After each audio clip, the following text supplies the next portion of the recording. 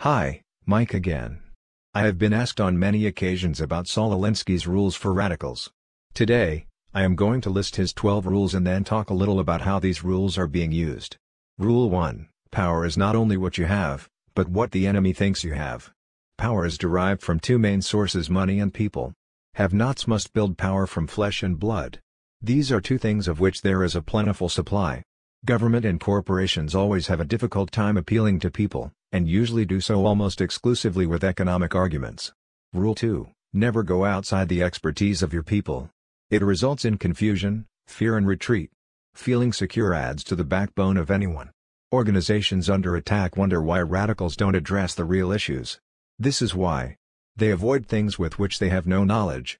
Rule 3. Whenever possible, Go outside the expertise of the enemy.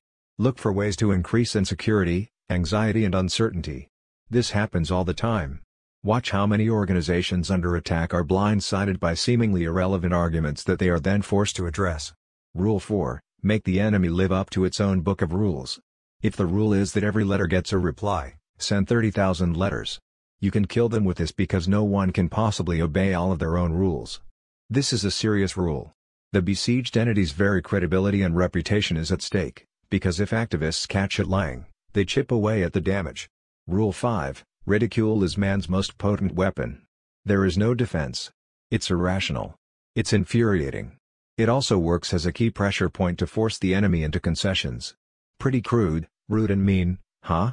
They want to create anger and fear. Rule 6 A good tactic is one your people enjoy. They'll keep doing it without urging and come back to do more. They're doing their thing and will even suggest better ones. Radical activists, in this sense, are no different than any other human being. We all avoid unfun activities, and but we revel at and enjoy the ones that work and bring results. Rule 7 A tactic that drags on too long becomes a drag. Don't become old news. Even radical activists get bored. So to keep them excited and involved, organizers are constantly coming up with new tactics. Rule 8 Keep the pressure on. Never let up. Keep trying new things to keep the opposition off balance. As the opposition masters one approach, hit them from the flank with something new. Attack, attack, attack from all sides, never giving the reeling organization a chance to rest, regroup, recover and re-strategize. Rule 9 The threat is usually more terrifying than the thing itself.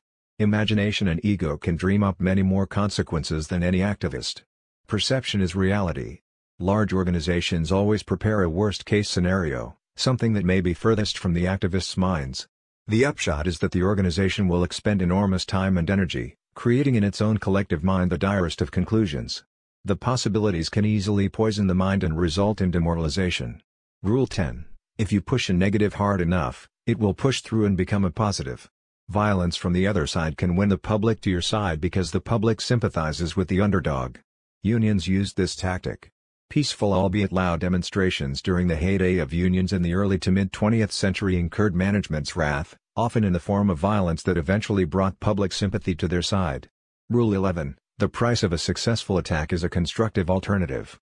Never let the enemy score points because you're caught without a solution to the problem. If you're not part of the solution, you're part of the problem. Activist organizations have an agenda, and their strategy is to hold a place at the table, to be given a forum to wield their power. So, they have to have a compromise solution.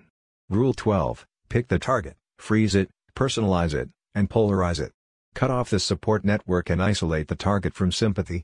Go after people and not institutions people hurt faster than institutions. This is cruel, but very effective. Direct, personalized criticism and ridicule works. Can you recognize how some of these rules are being used today? Many in the left follow Alinsky's rules in almost everything they do. Hillary Clinton was a disciple of Saul Alinsky. She wrote her thesis on him and used many of these tactics to help her husband achieve power. You can see Alinsky's rules being used in the riots, the COVID-19 threat and in pushing the racist ideas today. Understanding how progressives use Alinsky's rules in the Cloward Piven plans, is very important.